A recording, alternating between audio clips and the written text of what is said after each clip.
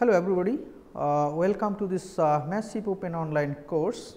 As we know that uh, in our uh, daily life, we are using uh, various uh, products, byproducts even some devices which are being used for our different convenience to travel even to design some equipments.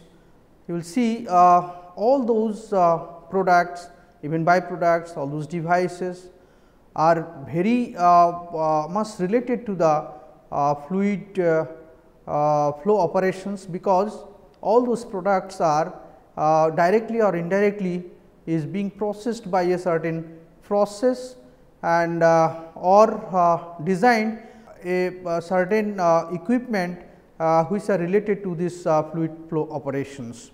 So, to design or to know the basic uh, of this uh, process based on uh, this fluid flow operations, you have to know some fundamentals of the flow of the fluid, how it is actually related to the process even in chemical engineering, mechanical or civil engineering processes.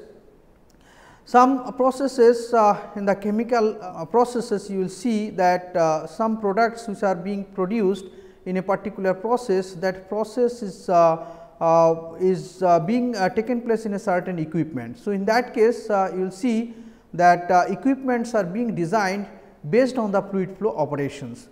Like one example here if suppose if you are going to remove the carbon dioxide from the atmosphere you have to supply this carbon dioxide gas uh, which are in atmosphere to a certain process unit.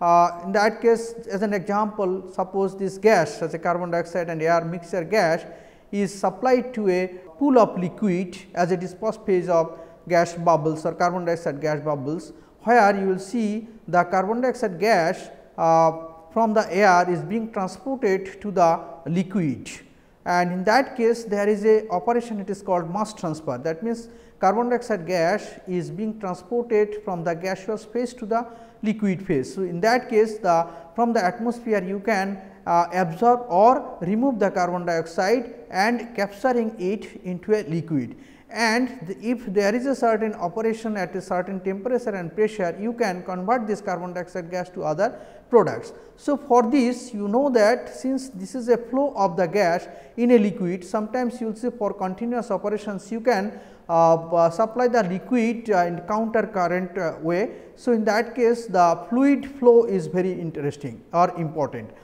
and in that case you have to know how that fluid is flowing for that particular application and what will be the effect of this fluid flow and also some other uh, characteristics of the fluid. So, this is one example for this chemical engineering process even there are several others uh, processes uh, which we are using to produce our uh, products which are being used in our daily life.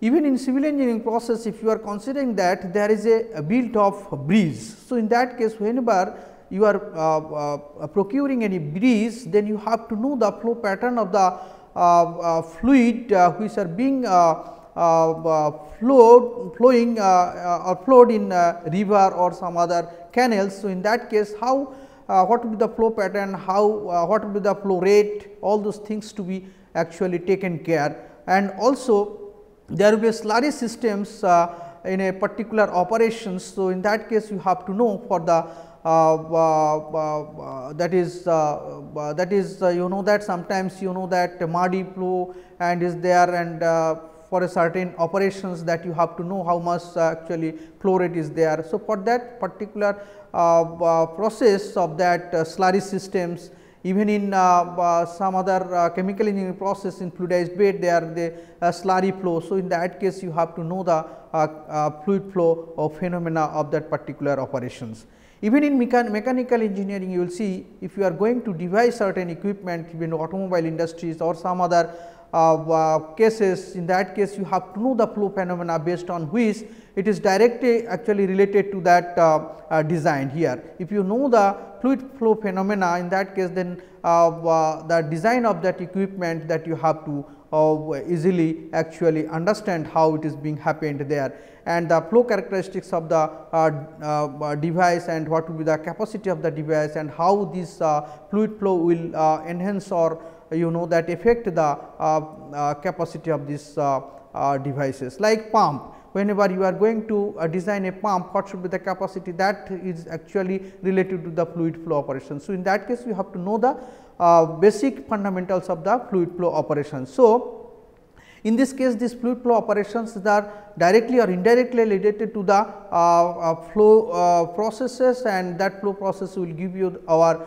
uh, daily life products even for our convenient way to how to use those devices in that case and also in our uh, you know that biotechnology process also sometimes some uh, uh, bioprocesses there these fluid flow operations are uh, actually uh, important. So, in that case what should be the hydrodynamic aspect that hydrodynamic are related to that uh, efficiency of the process.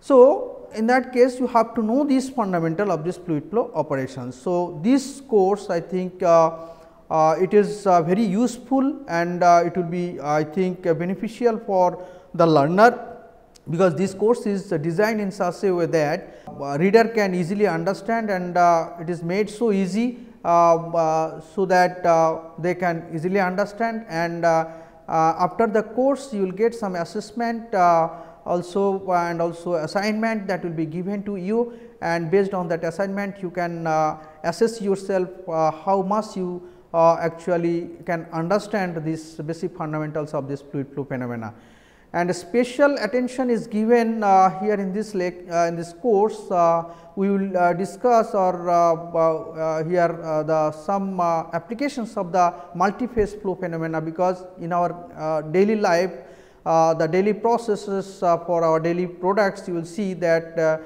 maximum processes are related to the multi-phase flow systems here.